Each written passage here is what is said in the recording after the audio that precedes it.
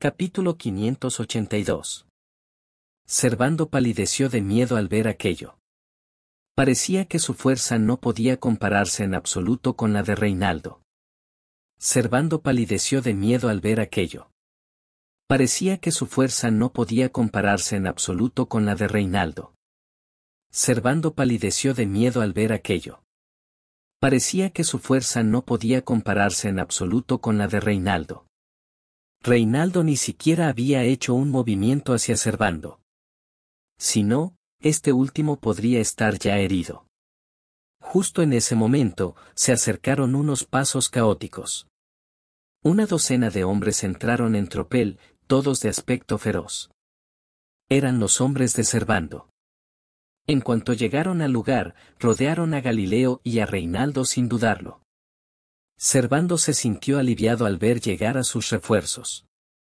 Aunque tenga que movilizar a todos los hombres a disposición de los Contreras, no debo dejar que Galileo se vaya. No debo dejar que avergüence a los Contreras de esta manera.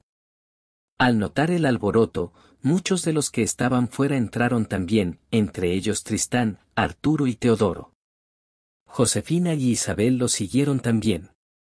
Estaban preocupados de que Jaime se hubiera metido en un conflicto con los Contreras. Cuando descubrieron que la pelea no involucraba a Jaime, Josefina suspiró aliviada. Jaime, ¿qué está pasando? Preguntó Josefina con curiosidad. Teodoro también miró a Samuel. Señor Benítez, ¿qué está pasando aquí con exactitud? ¿Por qué Servando atacó al señor Zambrano? Después de todo, Galileo era un hombre de negocios de zona Z. Había venido a Ciudad de Jade todos los años y tenía una buena reputación. ¿Por qué se metió en un conflicto con los Contreras? Samuel informó a Teodoro de toda la situación. Teodoro se enfureció al saber que Galileo era un fraude. Samuel informó a Teodoro de toda la situación. Teodoro se enfureció al saber que Galileo era un fraude. Ciudad de Jade es mi territorio. ¿Cómo te atreves a estafar dinero aquí? Me estás despreciando. Galileo, ¿cómo te atreves a hacer algo así en Ciudad de Jade? ¿Acaso el Ministerio de Justicia no es nada para ti? Teodoro no pudo reprimir su temperamento mientras le gritaba a Galileo. Aunque Galileo estaba dentro del escudo de Reinaldo, su corazón dio un vuelco al escuchar el grito iracundo de Teodoro. La expresión de Reinaldo se ensombreció al ver que Teodoro metía las narices en el asunto. General Jiménez, todo ha sido un malentendido. Puedo devolver el dinero al señor Contreras. Galileo empezó a entrar en pánico. Después de todo, el Ministerio de Justicia era una organización oficial del gobierno. Si se involucraban, Galileo temía no poder volver a zona Z ni siquiera con la ayuda de Reinaldo. Teodoro no quería que el lío fuera mayor. Cuando se enteró de que Galileo tenía la intención de devolver el dinero, se dirigió a Servando.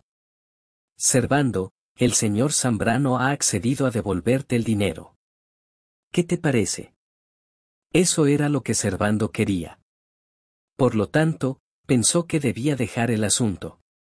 Después de todo, las cosas podrían ponerse feas si seguía luchando contra Reinaldo.